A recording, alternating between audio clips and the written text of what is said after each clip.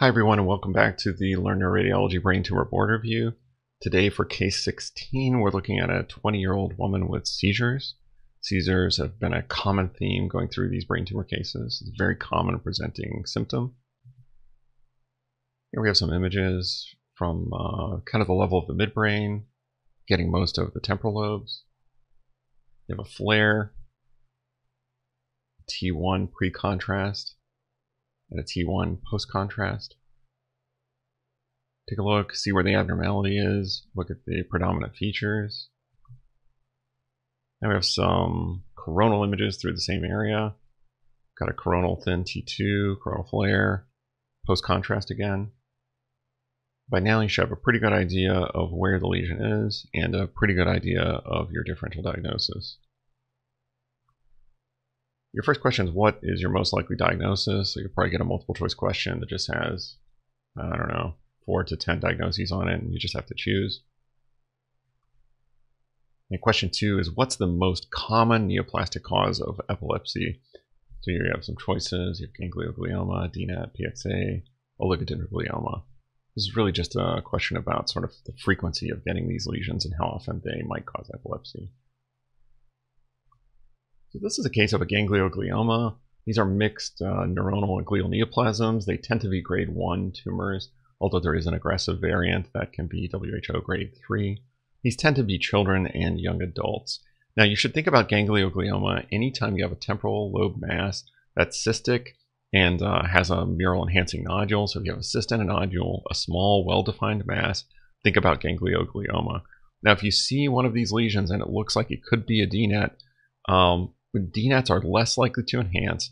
So if you're in a testing scenario, if you see enhancement, choose ganglioglioma. If you don't see enhancement, choose DNET.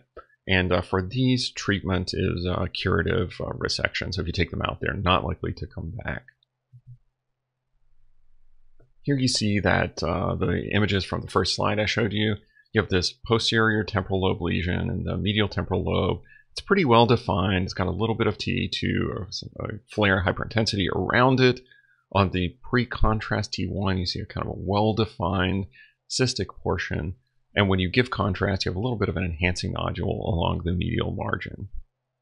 On coronal, you see the same thing. You see a very well-defined T2 hyperintense region, maybe a little bit of a more ill-defined region around it, on FLAIR, uh, coronal was actually hard even to see the lesion at all, but you do see compared to the contralateral side, this parahippocampal gyrus is uh, a little bit expanded there. And on post-contrast, you see that enhancing nodule along the medial margin.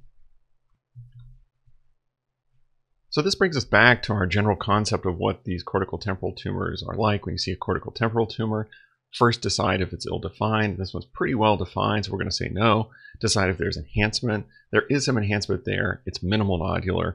Like in this case, we're looking at a ganglioglioma. This is an image from the same case. This is pretty typical for a ganglioglioma. If you want to see the DNET, uh, go back and take a look uh, at case 13 from this series, and uh, you can check out what a DNET might look like. There's also PXA uh, in this series as well, so if you want to see what those different tumors look like, uh, you can check them out on the other cases uh, from this series. Your second question was, what's the most common neoplastic cause of epilepsy? That is ganglioglioma, as in this case. So these are the most common tumor causes of epilepsy. Now, in most cases of epilepsy, you're not going to see anything on the MRI. So if you're asked a question about just the overall most common cause of epilepsy, it's kind of idiopathic epilepsy.